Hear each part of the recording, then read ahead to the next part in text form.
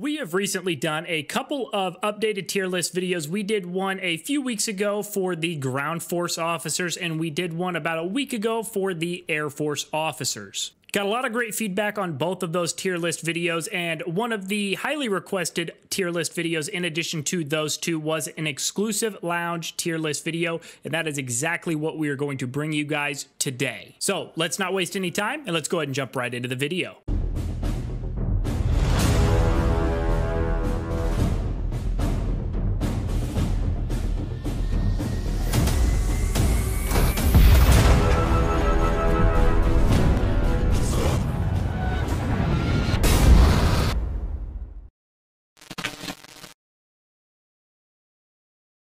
Welcome back, guys. So we are in the tier list maker, but before we kick off this video, if you guys are enjoying the videos on the channel, want to see more tier list videos in the future, finding value out of any of these videos, hit the like button, hit the subscribe button. Both of those things help the channel out tremendously. And if you guys have access to Discord and are not already in our community Discord server, the link to that is also going to be in the description of this video below.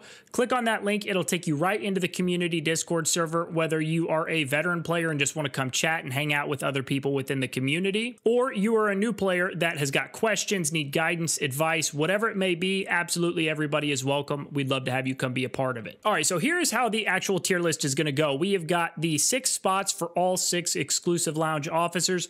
We are going to start from the sixth and worst ranking spot and work all the way up to first. Something to keep in mind though with this exclusive lounge officer tier list is a lot of this is dependent upon what unit types you prioritize running with your army. If you're very heavy on tanks, then this list might might be a little bit different for you. If you're very heavy on uh, artillery, this list might be a little different for you. So this is my opinion on the rankings of each of these officers just from a like unbiased strictly based on skills and value and things like that.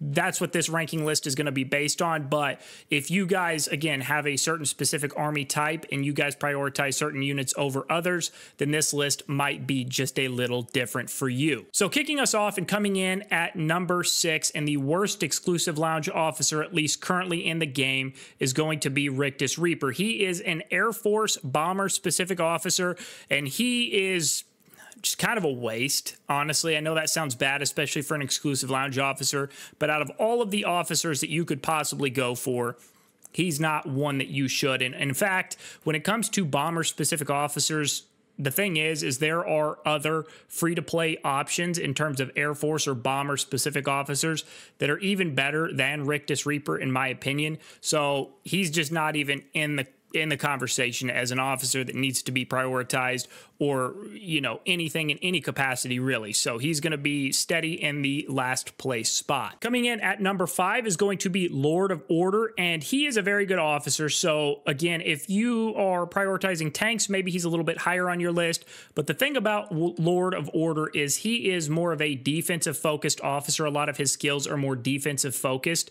And a lot of his skills are also skills that are very similar to other officers that are free to play. And so for that reason he's going to be in the fifth spot for me because if I wanted one of those skills or wanted something at least similar and close in in comparison to those skills that he's going to offer, uh, then I can go get them for free from another officer already in the game. Coming in at the number four spot is going to be Saber of the Nation. Saber of the Nation is the first and kind of OG exclusive lounge officer in Warpath. He is an artillery specific officer, and I might catch a little flack from some of you that are artillery fanatics in the comments, which is entirely okay. I totally get it. Saber of the Nation is a freaking beast, just period. He is a monster. Uh, the reason he is going to be in the four spot is because the remaining three officers are uh, really just kind of so elite that he can't really pass them up, but that's not to discredit any of Saber of the Nation's skills either. He really does well on an artillery unit in the open field,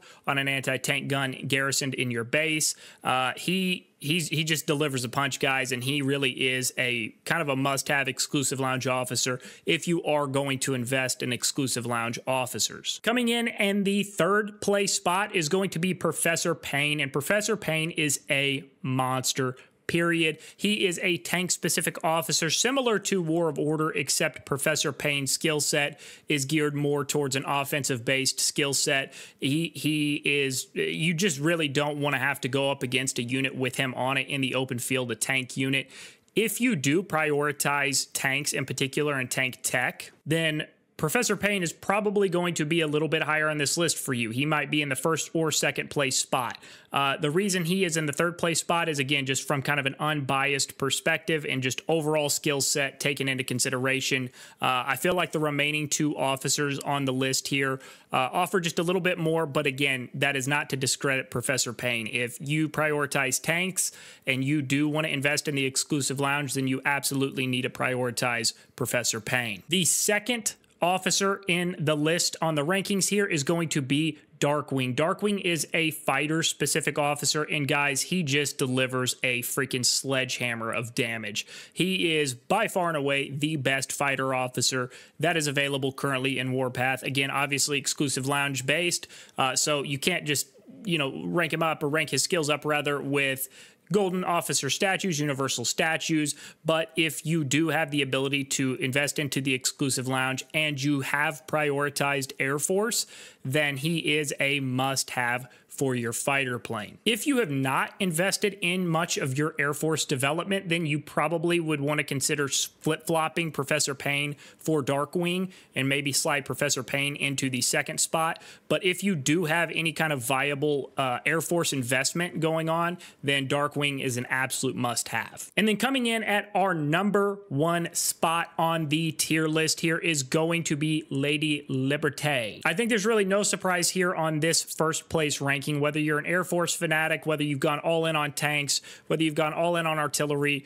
Uh, Lady Liberty is a just uh, plain and simple, she's a beast, period. Uh, the end. Out of all of the exclusive lounge officers, the reason that I have put her in the first place spot is because she does, at least as of this moment, she does the highest amount of damage coefficient her passive skills are just off the charts. I mean, there's nothing that Lady Liberty does that's not incredible.